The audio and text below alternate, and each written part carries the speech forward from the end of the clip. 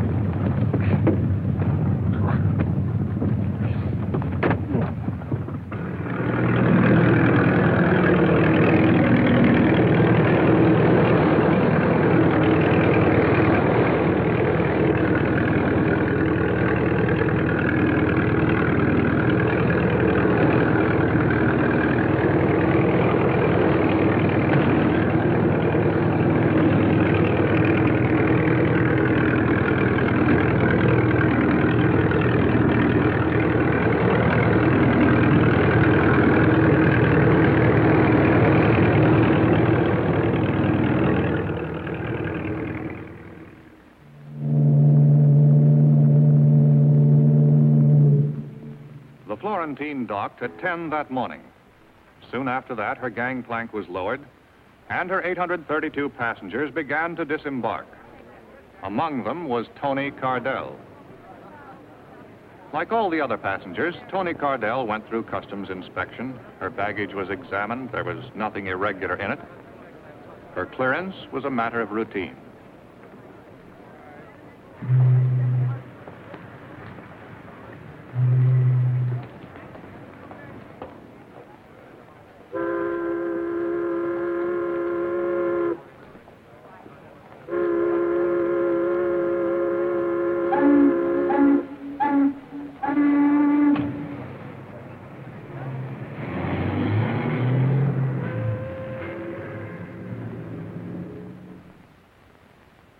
understand it, Paul. There was no reason to kill him. You told me the purser would be taken care of. You didn't say it would be with a knife in his back. Such a repulsive way of putting things, Toni. I also say that you look slightly ridiculous. A woman should never indulge in floor pacing as an emotional outlet. She becomes a foolish spectacle. Now, my dear, sit down and relax. But murder wasn't in the plans, Paul.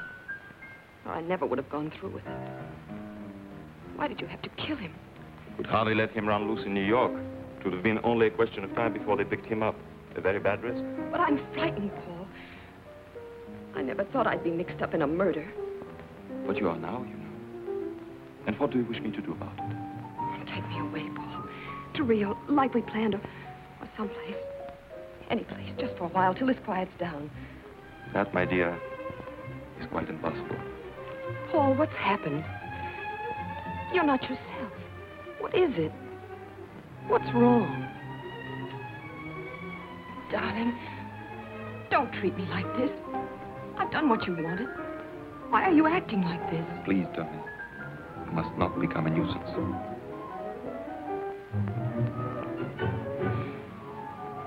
All right, Paul. If you won't take me, give me the money. I'll need at least 25000 Are you certain that'll be quite enough? Never miss it. Florentine shipment is worth 50 times that. Eventually, yes. It'll be some time before I sell it. But I can't wait. I've got to get away now. I was seen talking to that purser. I danced with him. I had to. They're bound to find out and question me. I'm so frightened I might give the wrong answers. Yes. That's true. You might give the wrong answers. Who's that?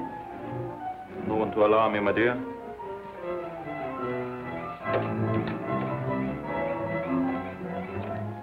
I, uh, I put the stuff in Penn Station. It'll be picked up tonight. All right. Wait in the other room. Here's the uh, 25 grand Stasser collected That's from Con. all for the moment, Lenny.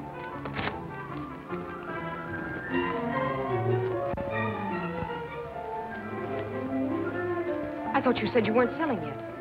This is special. Going to Canada. Need cash. So do I, Paul. I'm unable to give you any more money, Toni. This hysterical attitude of yours, I do not care for at all. Someone else while I was away, didn't you, Paul? Who is she this time? Some little waitress? Cigarette girl? Kid out of the gutter? You're also developing the irritating habit of not minding your own business. I'm beginning to see you now, Paul. This little whim of yours for building up a poor girl from nothing. It's purely for the pleasure you get out of throwing her back into the trash barrel. You annoy me exceedingly. Please go. I'd give anything to be around to watch your smug arrogance splatter all over the place. The day they finally lock you in a jail cell.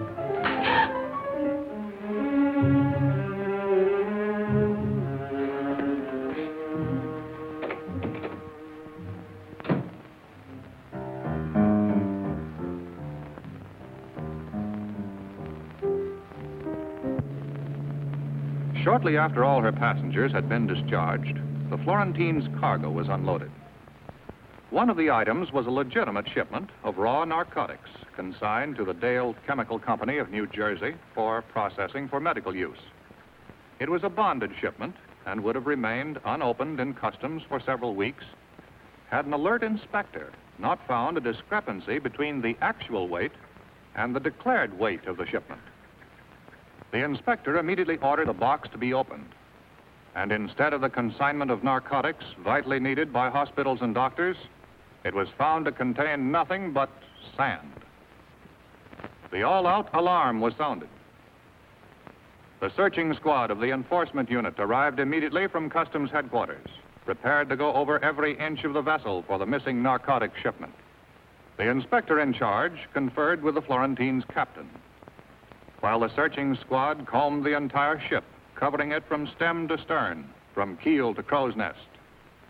On learning that the ship's purser was missing, the inspector notified the supervising customs agent in charge. Within a matter of minutes, Agent Michael Waters was assigned to the case and on his way. Waters' first job was to gather all available information aboard the Florentine.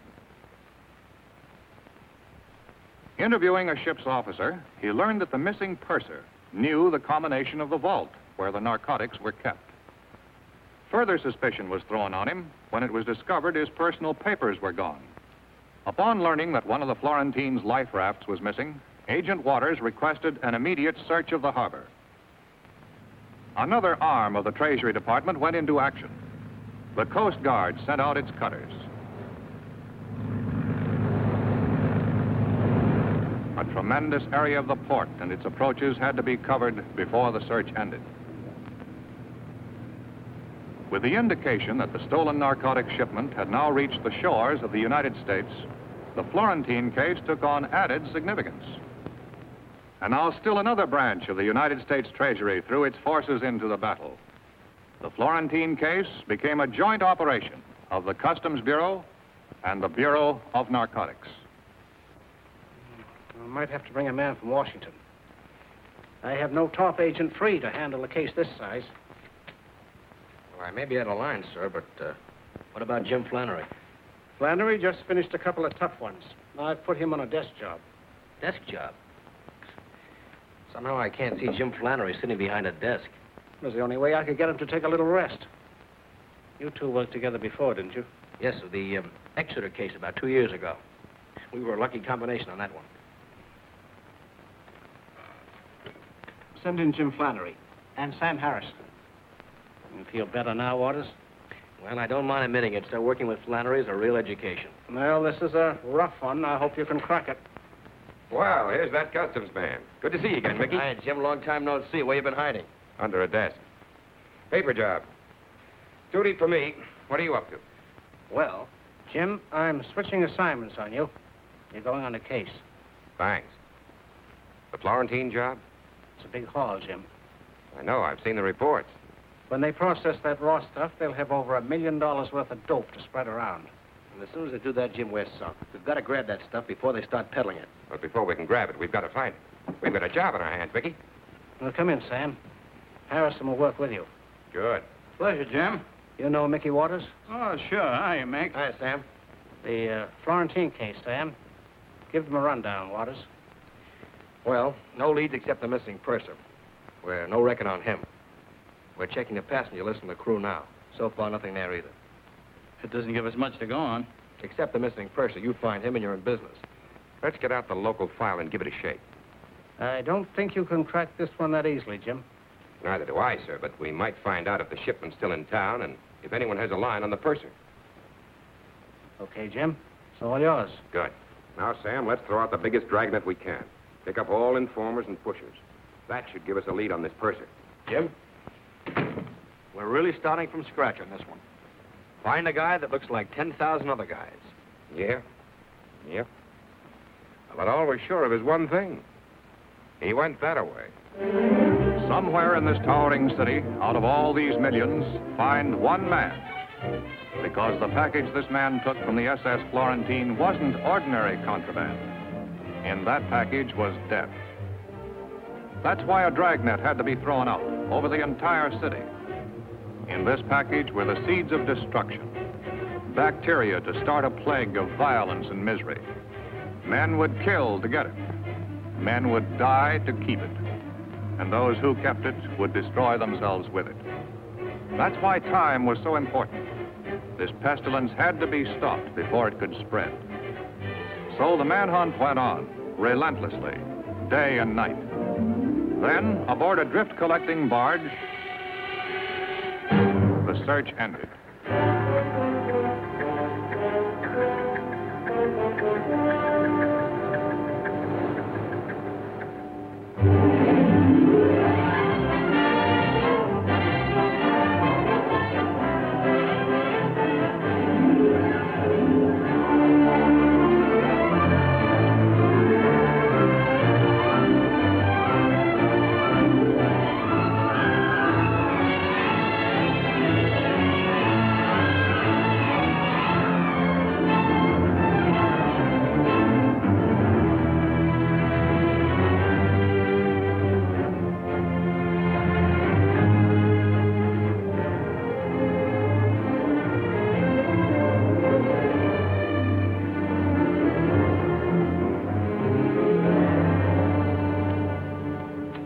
Passenger list, Jim. Hundreds of them, and hundreds in the crew.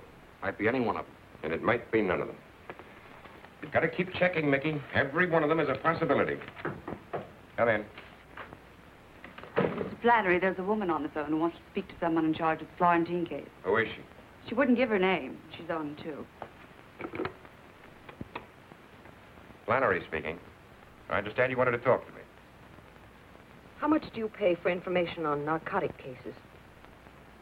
Well, uh, that depends. What did you have in mind?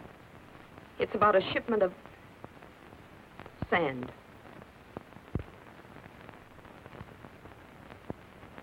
The government pays 25% of the legal value of the merchandise recovered. Why don't you come up to the office and... No, that's impossible. You meet me in half an hour. On the elevated platform. Canal Street. I'm wearing a gray dress with white collar and cuffs. And a gray hat.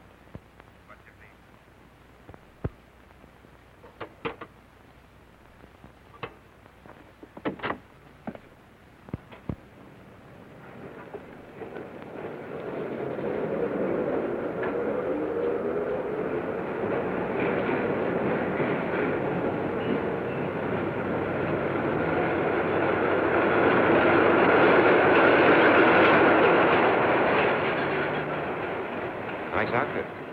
Gray dress, white collar, gray hat. You're... Flannery, and you? That doesn't matter.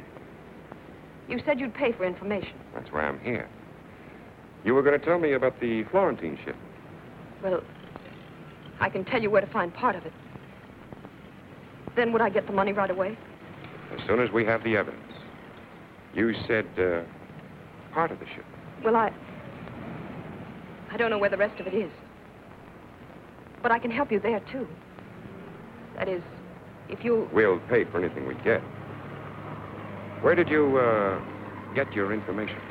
Someone I know. It, that is, there's some people I know who are involved.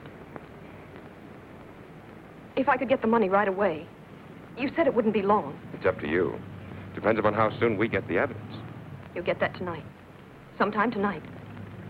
Who is this, uh, somebody you know?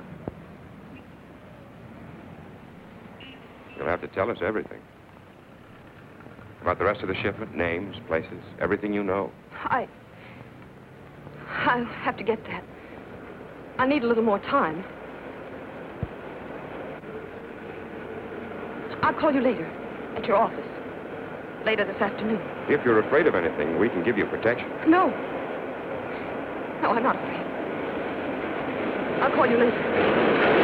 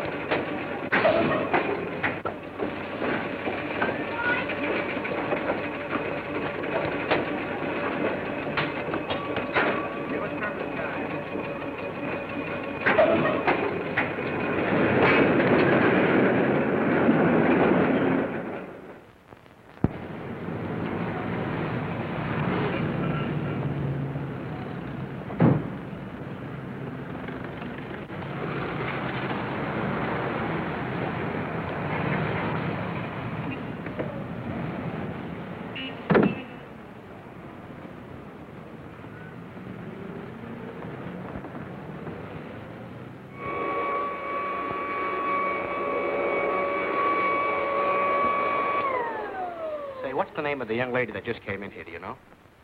No, aren't you ashamed of yourself? A young fella like you should be working, not loafing. Well, I tell you, Pop, I will be working as soon as I find out who she is. Now, look, it means a lot to me. Well, now, since you put it that way, uh, her name is Toni Cardell, apartment 5A. When I was your age, I'd have found out for nothing.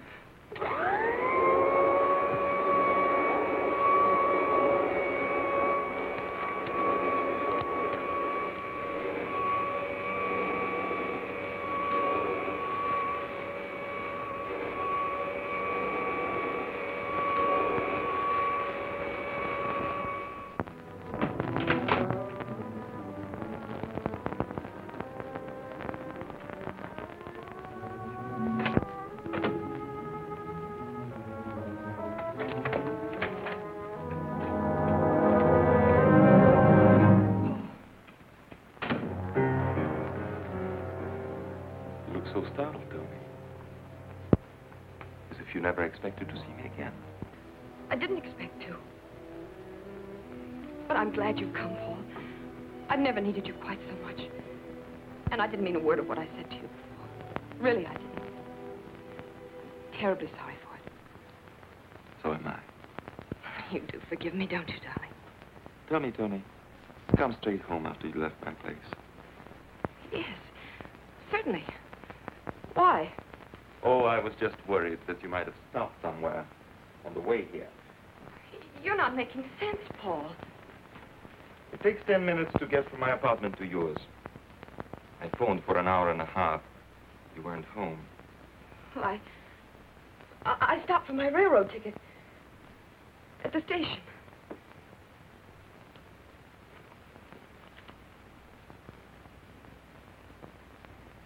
And you lost the ticket on the way home.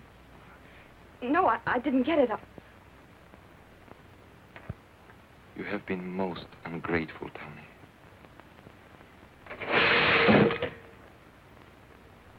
Most ungrateful. I wish you were coming with me, Paul. Tell me, Toni. Where are you planning on going? The West Coast, then anywhere I can get. Come with me, Paul.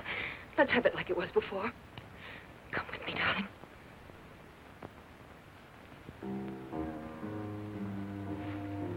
I'm afraid I can't come with you, Toni. But I shall miss you.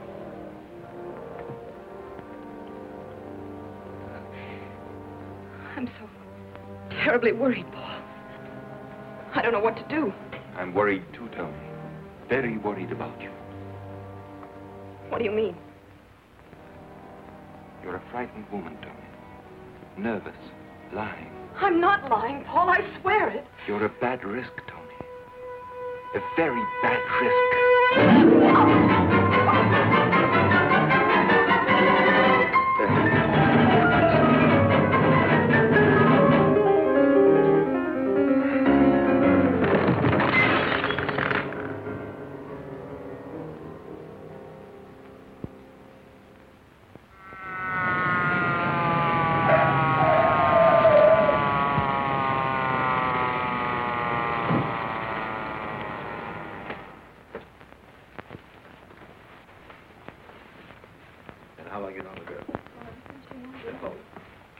Flannery, Treasury Department, narcotics. Waters Customs. I'm Devers, homicide. That's the lady, all right. Your man tells me you've had her under surveillance. That's right. I relieved Mickey at one, Jim. People have been walking in and out of the building until the squad cars came. Anybody's guess is good. Who found her? The maid, when she came in to clean at 2 o'clock. Well, she can't be dead for over two hours. I'd tail her to the building at noon. Dead about an hour and a half, Ed. Apparently strangulation. But no finger, rope, or wire marks. Your boys find anything like a parcel of narcotics? No. He's been tearing the place to pieces looking for it. There's no junk here, Jim. Maybe your friends carted it off after they stopped the lady's breathing. Hey, Jim. Well, here's her passport. All right, you can chalk this one up to me. We had no reason to hold her. Take it, Gert. Hello? No, who's calling?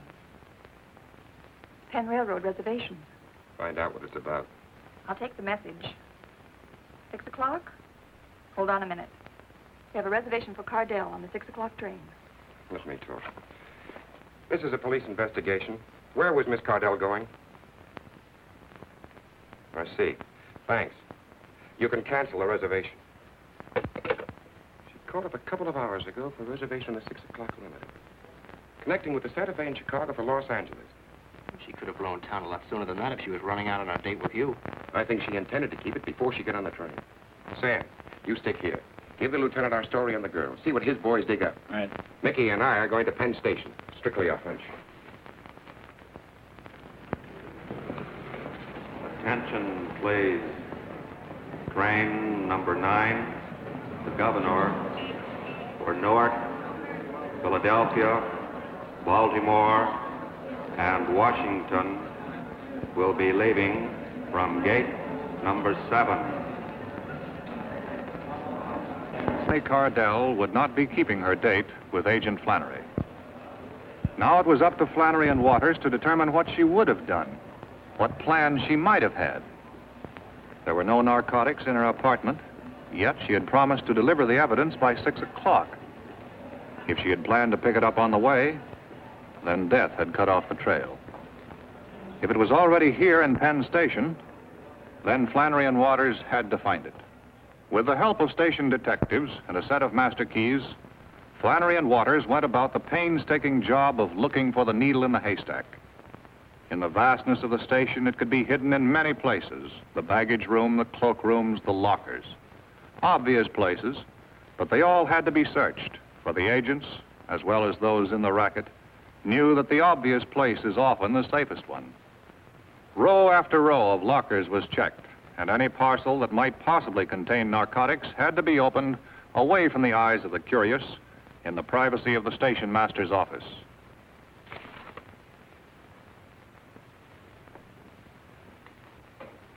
This is it.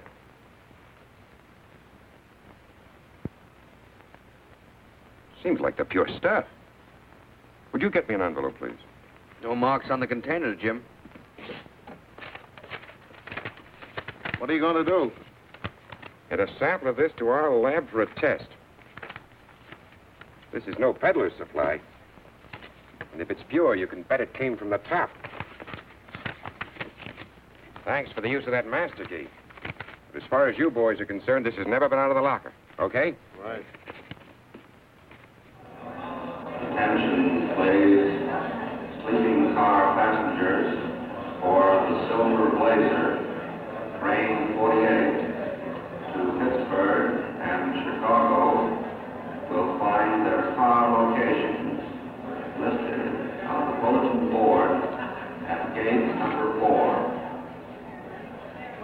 Had the brakes so far, Jim. All we can do now is sit tight and see what happens. Toni Cardell put that package in there herself. Nothing's going to happen. If she knew they used that locker for a delivery depot, we can expect a visitor sooner or later.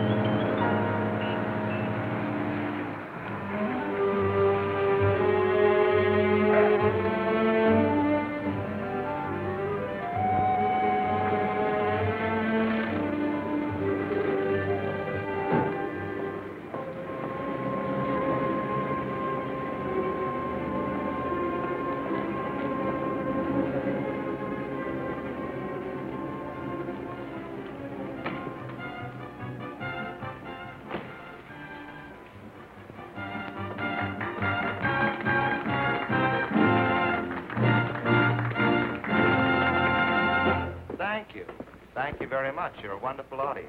I'd like to do more, so I will. Here's my favorite character.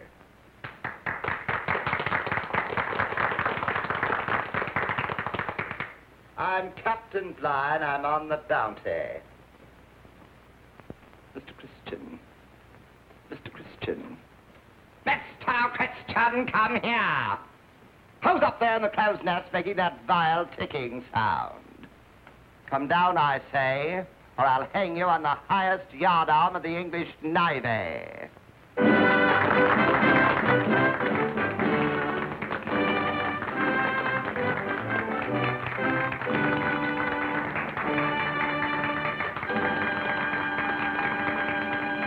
Thank you. Thank you very much. At this time, it gives me a great deal of pleasure to present our three Brazilian lovelies. Come on, folks, let's bring them out nicely. What do you think? About time. Gee, Dolly, you were terrific tonight. I'm terrific every night. Come here, you. Oh, excuse me, I have private business. What did you do? Push the package over with your nose? You've been over an hour. Uh, what are you beefing about? You didn't say rush.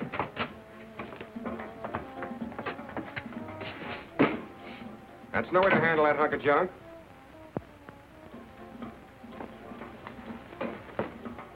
Who are you guys? You ain't local. Federal pinch buster. Dolly, what's happened? What are they doing? Who are you? Little Red Riding Hood. We're not playing games here. All right. I'm Lili Long. I'm a dancer here. You the girlfriend? That's what you think. I'm a good friend of his, that's all. Well, you better get some more clothes on, friend. You're going along, too. Oh, look, mister. This kid doesn't know anything about this. She's only here in the floor show. She doesn't know anything about it. We'll see. Who asked you to pick up the package? Him. The order says, come here, see a Dolly Carney. Dolly's him. He give me a key, says, get a package out of locker at 10. Was the girl in the room then? Nah, only the character. What's in there? Stolen jewels? Sit down, Sonny. We'll send somebody back and pick you up. Dolly, don't stand for this. They can't push you around. Stay out of this, Lil. Look, she's not in this, believe me. I don't want to drag her into this. All right. We're not going to hold Miss Long. Thanks. But we may want to talk to you tomorrow, so don't plan any trips. All right. Key to room 1017, Carnot Apartments, Portsmouth. You live there, Carney? You guys are trying to frame me. I'm not in this business anymore. I was only doing a guy a favor. A guy I don't even know. You better get another story, Carney. This one sort of needs crutches. Come on, Carney. We'll have a little chat over at your place while we look it over. You guys got it all wrong. You got it all wrong. I was only Doing a guy a favor. Let's go, Dolly. What's the matter, Dolly? Having trouble? All he can handle, Mac. Oh, yeah? I'm Joe Leone. This is my place. I don't like cops busting in here making pinches without warrants. You boys stick to your knitting and stay out of trouble. Are you going to move that or am I? You can't push me out like this. I got no right.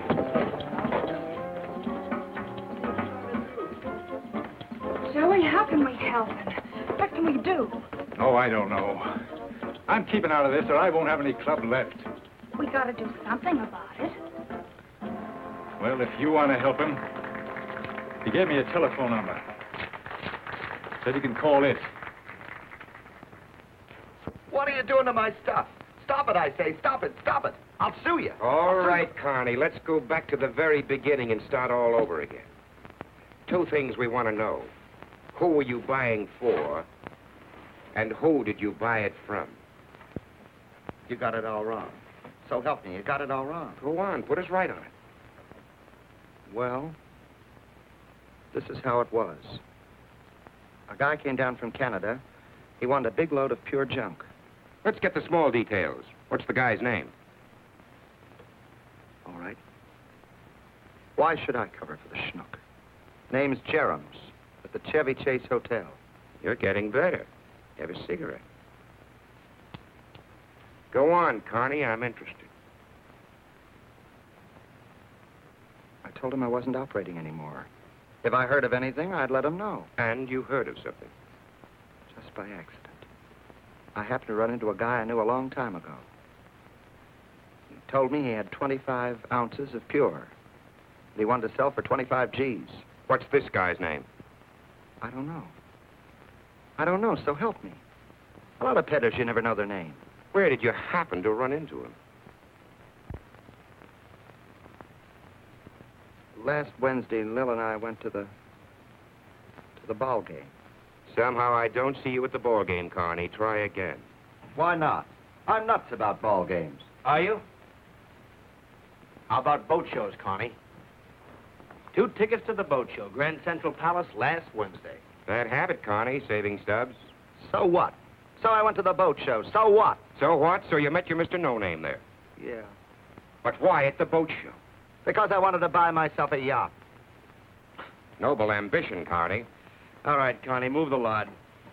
But getting back to this Mr. No Name, what does he look like? Like a lot of guys. Tall, thin. Where can we find him? I don't know. I haven't seen him in years. Three, four years. I haven't, so help me. There's nothing else here, Jim. The place is clean. What did you have to last at my place for? I ought to sue you. Let's go downtown, Carney.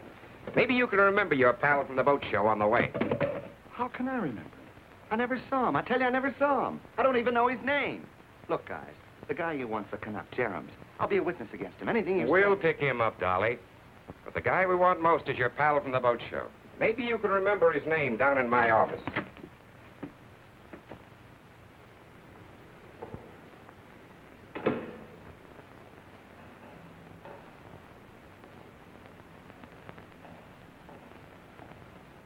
Lili Long, Yes, I'm Stasser. I called because Joey said you could help. Maybe I can. How much do you know about this? Only what I told you on the phone. When the messenger came with the package, they followed him. Then they grabbed Dolly. That's all? That's all. We gotta get Dolly out. You said there was someone. There There is. Have you seen him? Will he bail him out? I'll take you to him. Come along.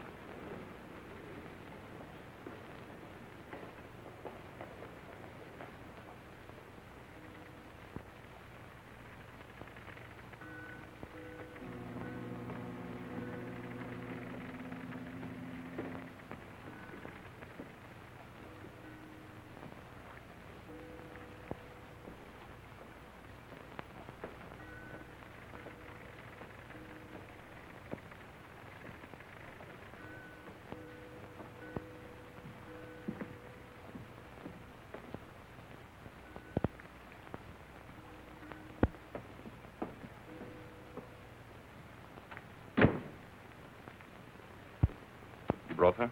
She's out there. I don't like this. She's mixed up with Carney. I don't trust her.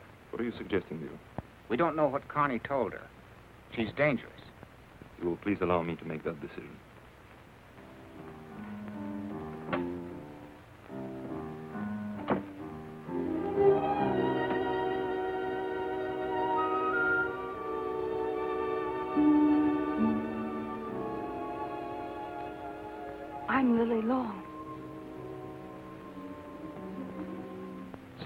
Waiting this long. That's all right. When I made that phone call, I didn't know about you. I didn't realize Dolly had friends like. like this. I understand you are quite close, you and uh, Mr. Carney. No, he's just a good friend of mine. He got me my job at the club, and. You will do something to help him, won't you? I shall certainly do everything that is necessary. Now let me pour you a drink while you tell me about yourself and our good wanted to help him because it wasn't Dolly's fault. You see, he was just trying to do somebody a favor. He was doing it for someone else. Someone else. If you could give me some idea who it might be. I only wish I knew.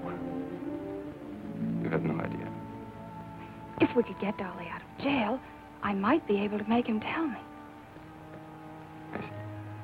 Won't you do something to help? He can't stay in jail. He can't take it. He can't. No, he... Don't you see he's not strong? They keep him there, he'll go to pieces.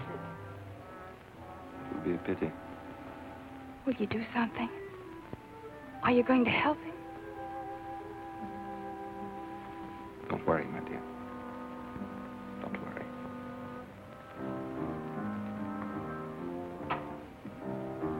Leo, arrange for bail. We must get this Carney out as soon as possible. What about the girl? Ah, Harmless. Our concern is with your friend Carney.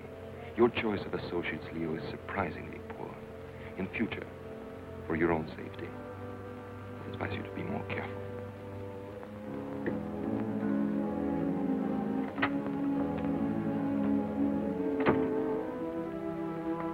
Well, we're doing everything we can for your friend Carney.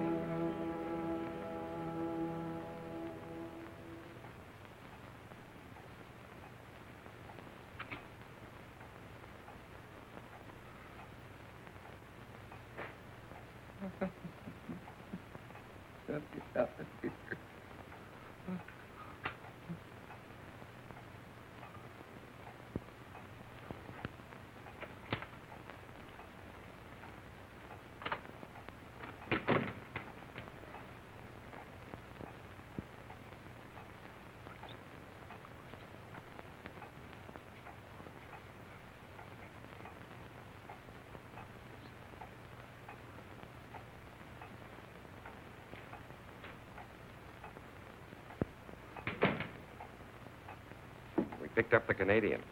He denies everything. He's lying. But we can't prove anything on him. That makes you the pigeon, Dolly. It's a tough rap, Dolly. And it's all yours. He's lying. I'm not going to take the rap for anyone. Why should you, Dolly? We want the guy you got the stuff from. Who is he, Dolly? You got to let me out of here. I, I need help.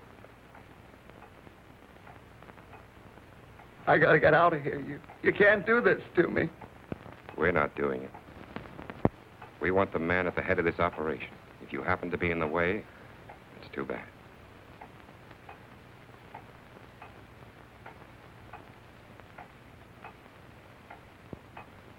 We're waiting for you to give, Dolly.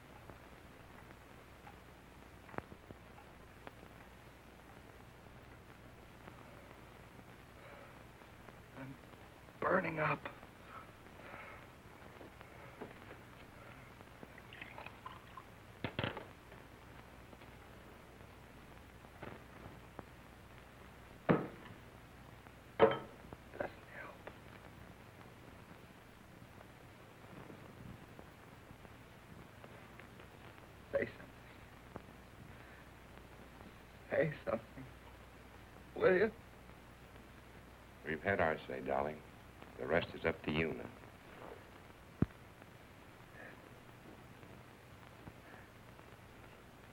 Stasser. What? Leo Stasser is what I got it from. Where is this Stasser? He's, he's got a boat worked. Harbor Point. Gotta give me a break. You gotta take care of me. Sam, get the doctor. Take care of him.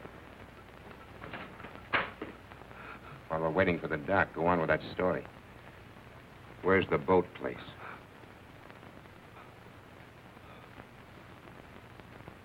Marine. Row. Half mile. Harbor Point.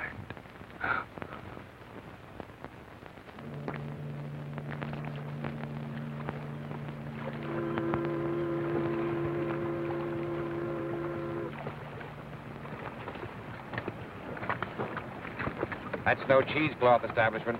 If that's a front, these boys operate on a large scale. And let's Carney pull that Stasser character out of a hat. That's what we've got to find out, and fast. Let's move in a little closer.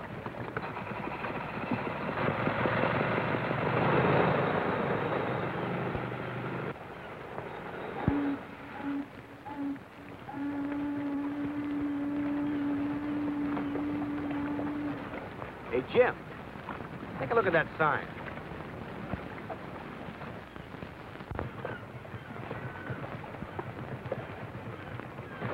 Looks like this tub's gonna need a few quick repairs. Look, I'd run her in there, stick around, and work on her a while. Forget it, Mickey. It's not that simple. It's a cinch, Jim. If that stuff's still in there, we gotta find out while it's still around. I can't let you risk your neck. You've never done any undercover work. I've learned a few tricks from the old professor. You better let me tackle this. Do you know anything about boats? Front from the rear. Yeah, you'd be great. Come on, I'll run you in. All right, Mickey.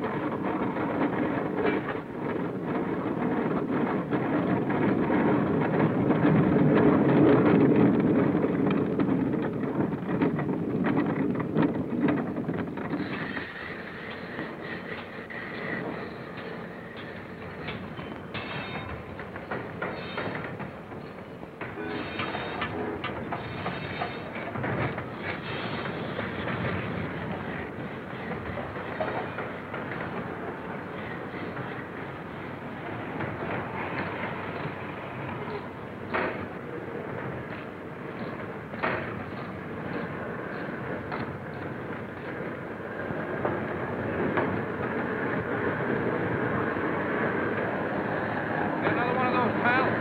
Yeah, catch. Thanks. At the high brass? That's the boss, Mr. Stasser. Stasser, eh?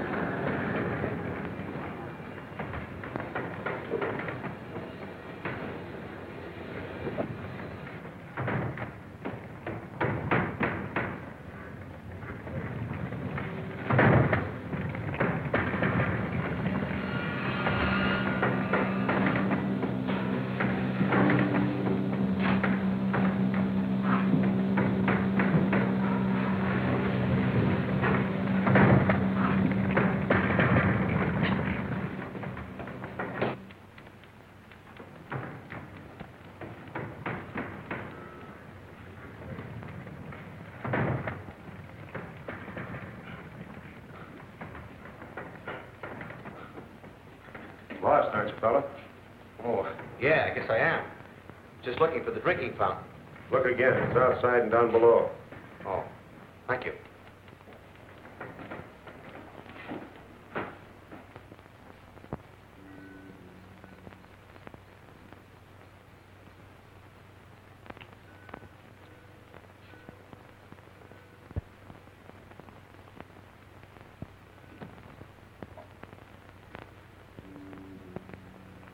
He's good for an hour now.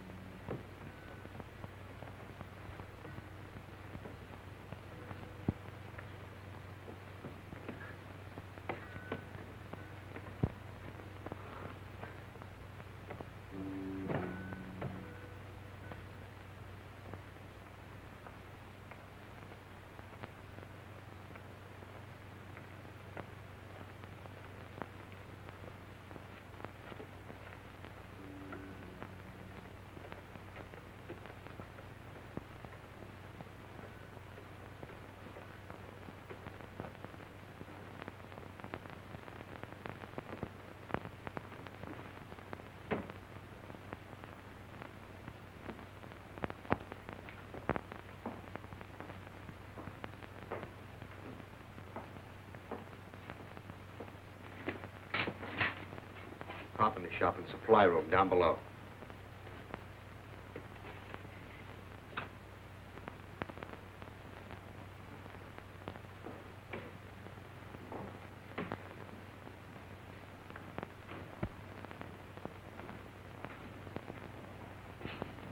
That's as far as I got when Laughing Boy caught up with me.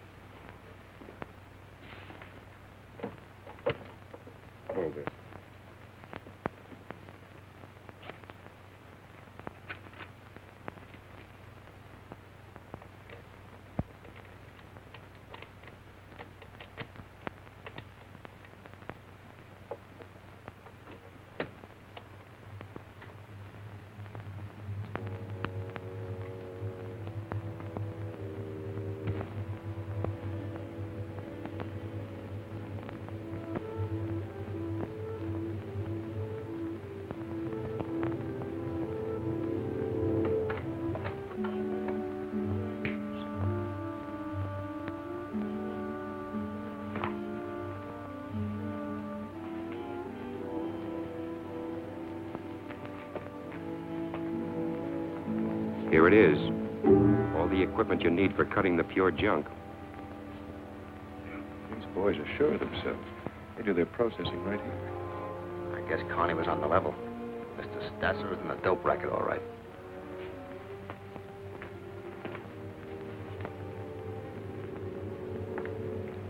Jim. I'll check around downstairs. You cover the office here. Right.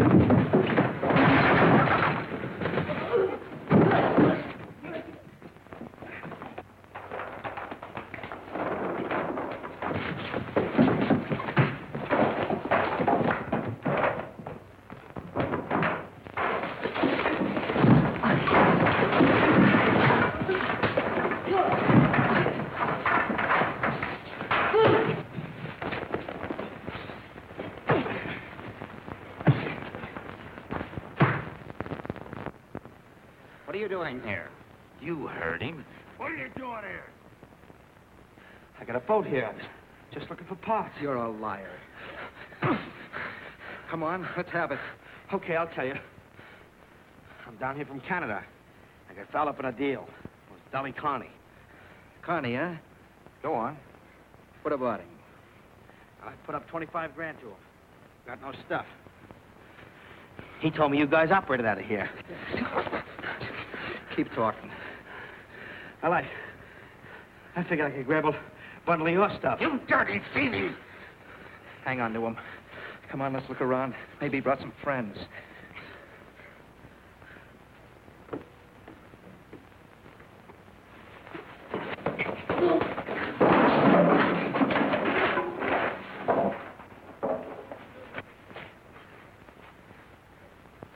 We'll finish this outside. Get going. Uh-uh. We're taking him to the boss. This guy might want to talk some more. Sure, take me to the boss. He's just the guy I want to see. I'll talk plenty. Okay, let's go.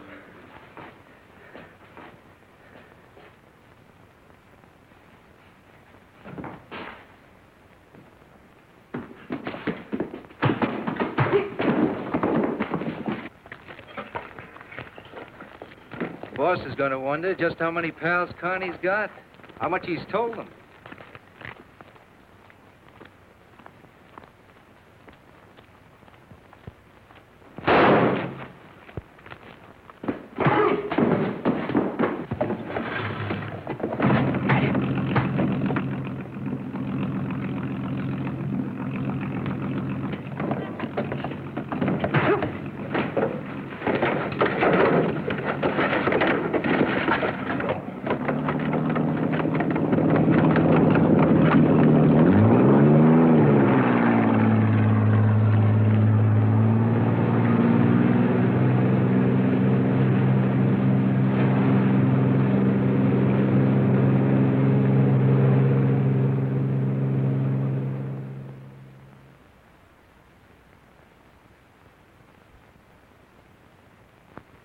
Now, these are all his things. Everything Mickey had on him. I'll have them taken over to his folks. I'll take them. I was going to drop out there later. Sure, Jim. I can have someone else. It's all right. I'll handle it. Not much to bring them, is there? That. Three lines on page 27. Nothing about what kind of a guy he was. Not even his name. The case isn't closed, so he's an unidentified body. That's the way the road ends sometimes. It ends when we close this case. John, we've got to close this case. There's only one chance left. Wiley? It's a long shot, but I want you to let me take it. But Jim is too wild. No time for preparation. No cover story. We don't need a cover story. These people don't even know Wiley. I don't want two men killed on this case. For you to take this Wiley's place... We don't even know who sent him, Jim. Or how much he was supposed to buy. And we'll never know that from the outside. We could nab Stasser and take a chance on finding the stuff. There are hundreds of Stassers. Grab him and another one pops up. We want the man at the top. Oh, sure. How do we know Wiley was going to deal with the top? If I'm Wiley, they'll deal the way I want them to deal. Jim, there's no time. All we know is Wiley's on his way here by plane. You could never... John, there's a million dollars worth of dope involved here. One tenth of that is enough to start a dozen crime waves. Get more guys killed. More guys like. We've got to stop that. You've got to let me pull Wiley off that plane.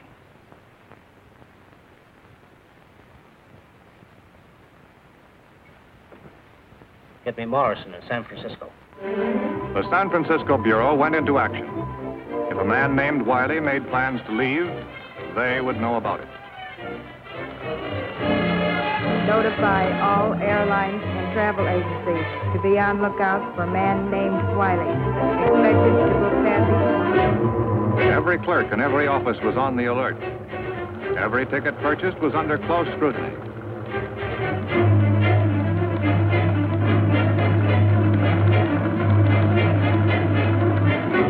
And finally, when a man named Wiley was ready for a trip to New York, Agent Carey of the San Francisco Bureau was ready to go along.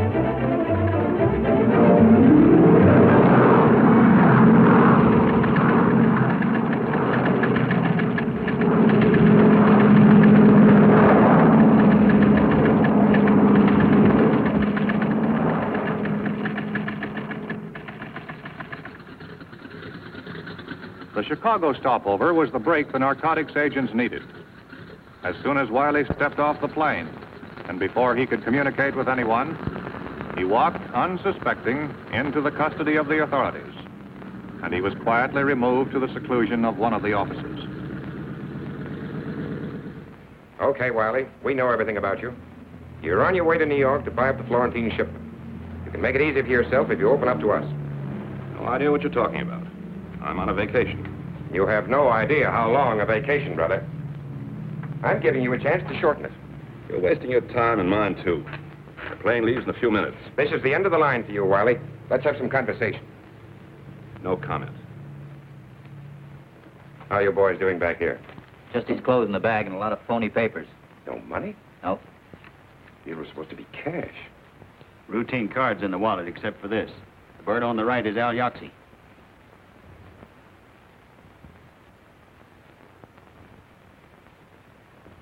Have been booked incommunicado. Right. Jerry and I are going downtown. We've got some business.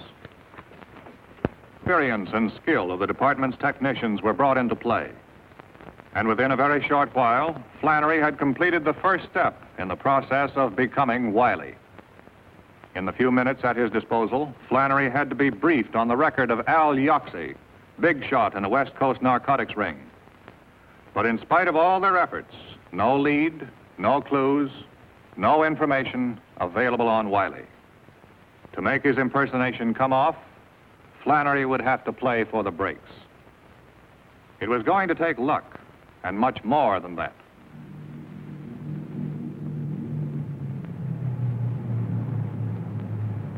Later that afternoon, when Flannery arrived at LaGuardia Field in New York, it was a man named Wiley who walked into the airport building.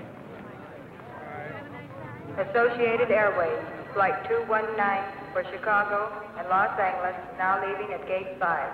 All aboard, please. You have a message from Mr. Wiley?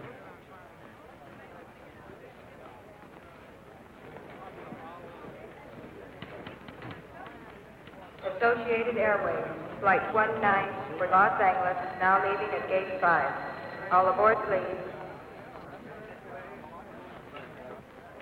Passengers Rodney and Dickinson, please step to the Transnational Airline counter.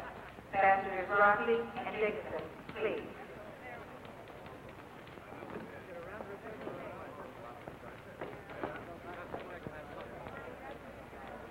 Flight 127 from Hawaii, San Francisco, and Los Angeles, now arriving at Gate 7. The men of the Bureau of Narcotics kept a watchful eye on Flannery and reported the success of his first contact with the gang. Supervising Agent Meredith and his men could only stand by and wait to see if Flannery could find his way, his identity undetected, to the missing shipment from the SS Florentine and signal them to close in. Until then, Flannery would have to face the risks of his dangerous impersonation alone. Yes? What? When? Why the blazes didn't they check with us before they released him? Dolly Carney was released this morning. He's liable to go straight to Stasser. If he sees Jim, it's all over.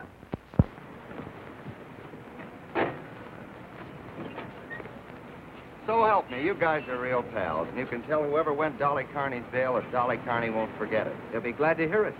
Thanks a lot for the lift. A lot of service. Where are you going? Up with you? What for? Got things to talk about. This little guy's really lost up my place.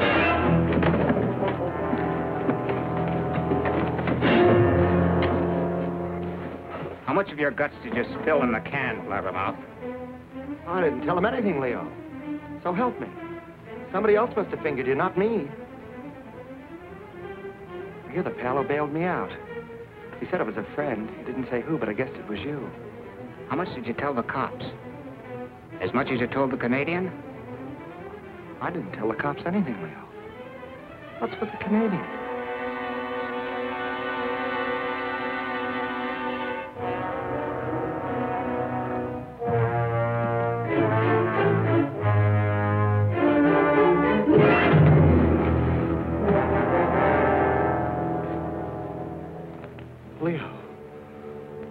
What are you going to do, Leo? What are you going to do? I didn't tell him anything, Leo. I didn't tell him anything.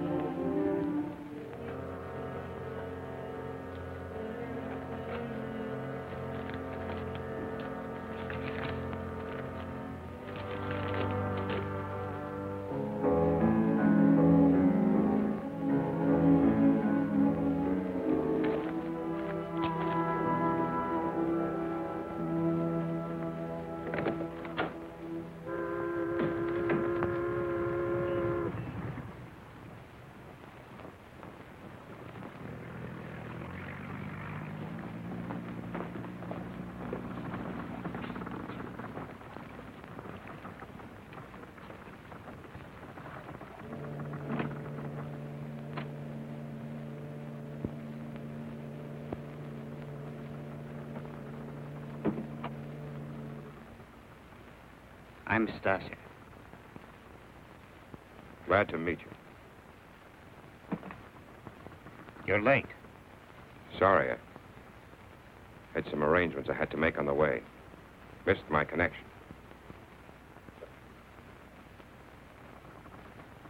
Al Yoxie sends his regards.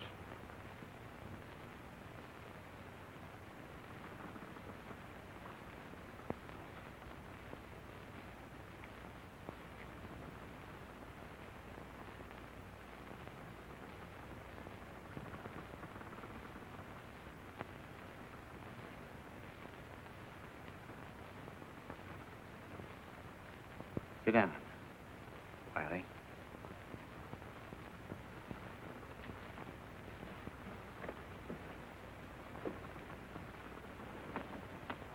We can do business now. You brought the money. I haven't seen the merchandise.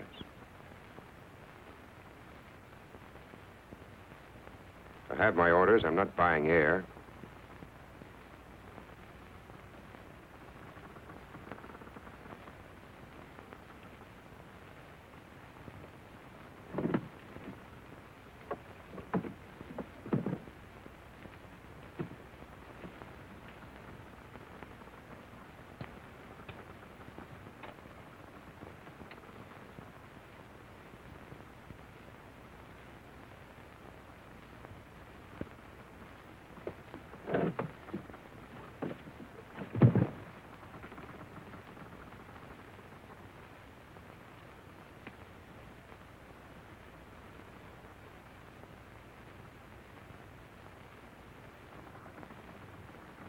You're right.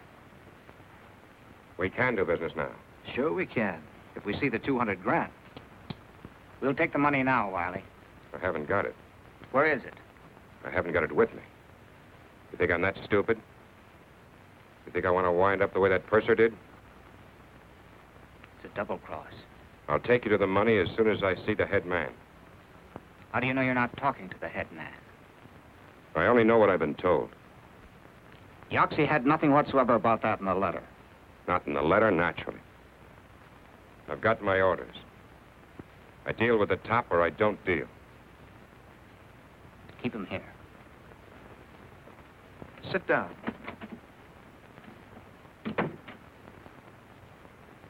And in the headquarters of the enforcement unit, the men of the Bureau waited for the prearranged signal from Flannery. Until it came, they could do nothing. Yet they knew that his situation must be growing more dangerous with every passing moment.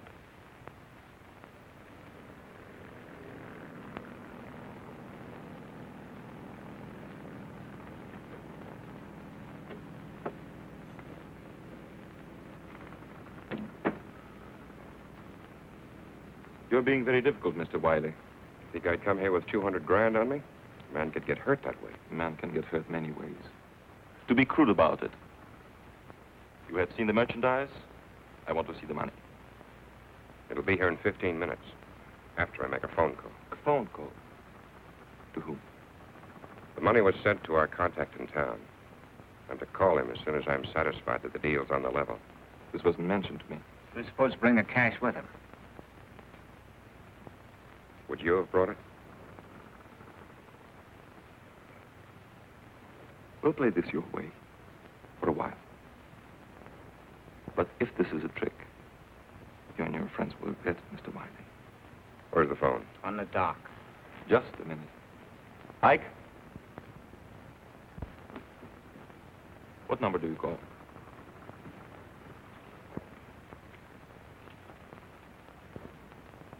Call this number. Tell them to send the money in a box by uniformed messenger to the Brooklyn Municipal Pier. We'll be there in 40 minutes. Brooklyn Municipal Pier, 40 minutes. Why not have it brought here? A public pier is the most unlikely place for strong arm tactics. You guys got sore because we were so cautious.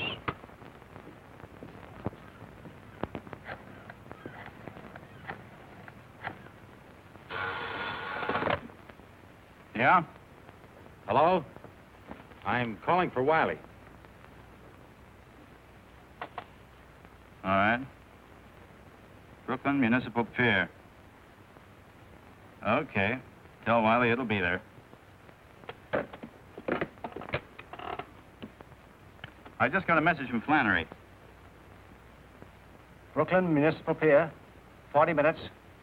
Okay, Sam. Let's get started.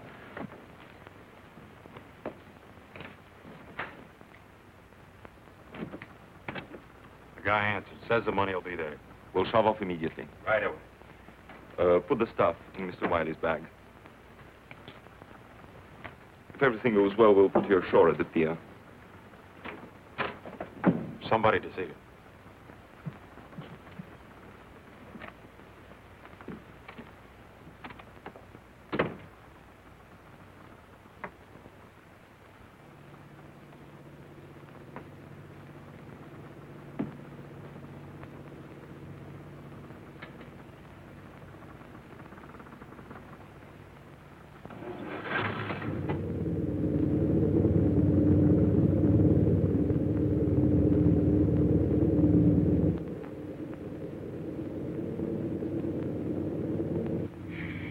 Of course, I will take up the matter in due course and, uh... Oh, Well, Little Red Riding Hood. Hello. This is a pleasure. you two know each other? Yes, we met through a mutual friend. What are you doing here? Oh, I'm just a uh, business associate. Mr. Wiley and I have a little business matter to discuss. Do you mind? It won't be a moment.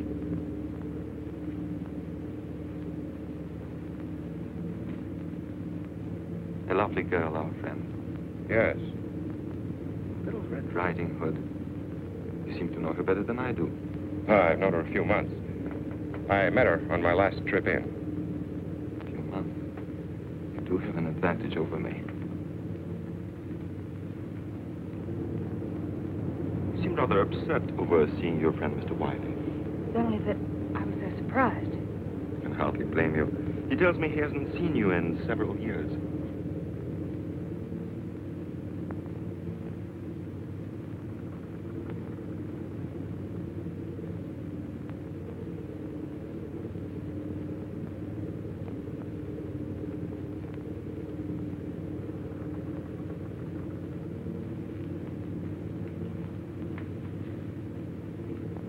I'll join you in a minute, Mr. Wiley.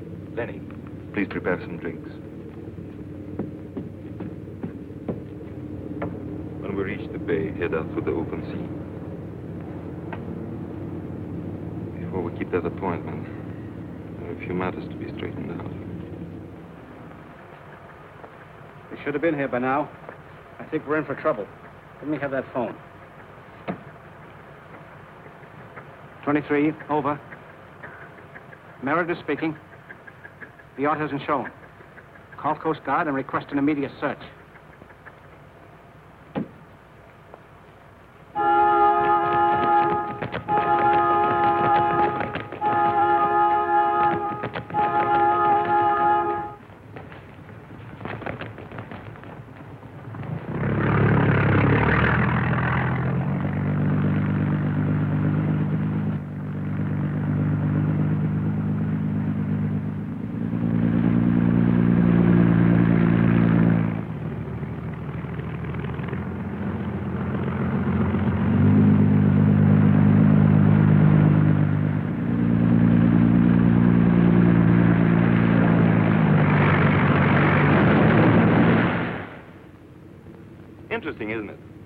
Now that we're all here together, that you two should have known each other before.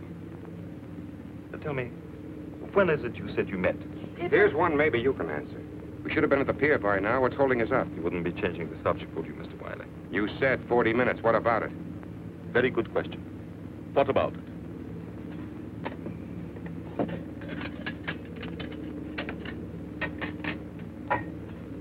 Don't seem to be enjoying our cruise, my dear.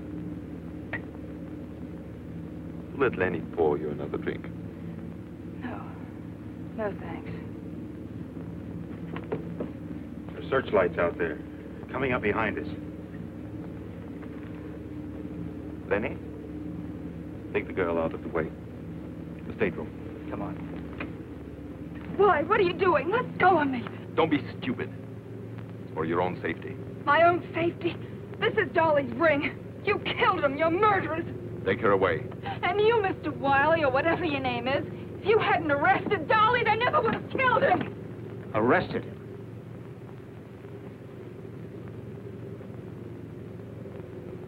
Hold him here. You and Lenny tie him up. Mr. Wiley is leaving the boat. We shall miss him, as we shall miss this. But we'll want things to be in order when our guests arrive.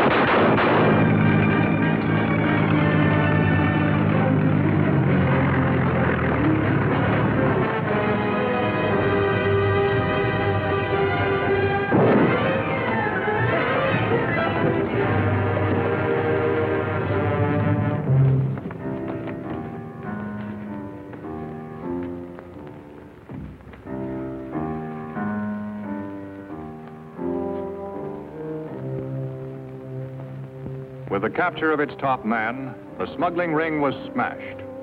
The Florentine case was closed. There would be new problems, new assignments. The facts and figures of the case were filed away. But there are things that cannot be part of an official government report. Part of the the story of the men who stand guard at America's front door, the port of New York.